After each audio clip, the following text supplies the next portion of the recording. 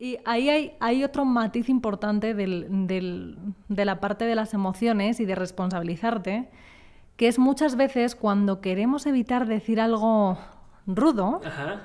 utilizamos algo que a mí personalmente me desespera. El se dice, se comenta.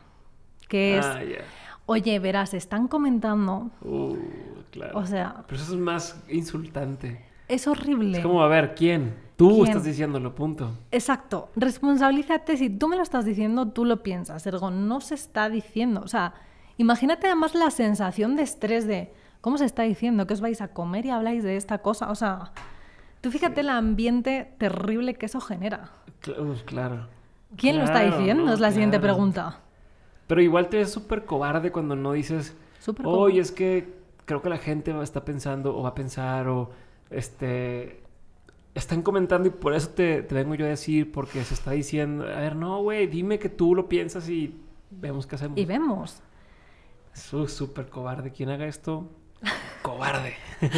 Pero es muy común y muchas veces, fíjate, lo hacemos casi por buena onda de, oye, no es que yo lo piense, casi que vengo a apoyarte. Y al final Y- la sensación es terrible. Exacto. Y aunque sí se esté comentando, o sea, aunque sí haya gente afuera diciendo, oye, es que fulanito es bien grosero y bien demás, pues yo te diría, oye, la gente está empezando a hablar, pero yo también veo el por O sea, yo te digo que sí, o sea, sí, yo, Yo, también sí lo, lo, estoy pienso. viendo. Ajá. Exacto. Si no, no vendría aquí contigo. Exacto.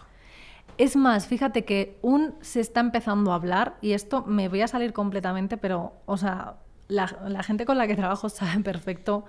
De veras, si eres una persona que tiene equipo, o si estás en un equipo, aunque no lo, o sea, que sea tu equipo, corten los rumores. O sea, el chisme, de verdad. Si se está comentando, todo el mundo está cometiendo un error ahí, que es permitirlo.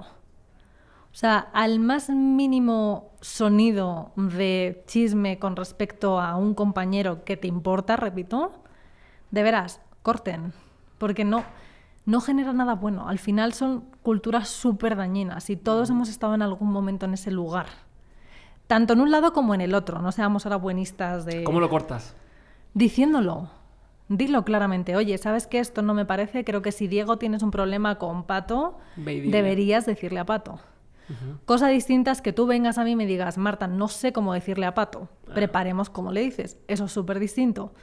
Pero comentar en la comida, que es que tú fíjate Ya lo que vieron hizo. que pato.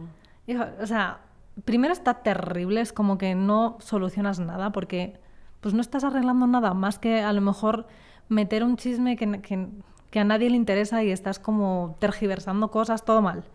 Y segundo, insisto, no estás arreglando nada, pues se lo tendrías que decir a Pato. Entonces, de veras, quien esté ahí, que lo corte. Así de levanta la mano y dice, no me gusta esto que está sucediendo.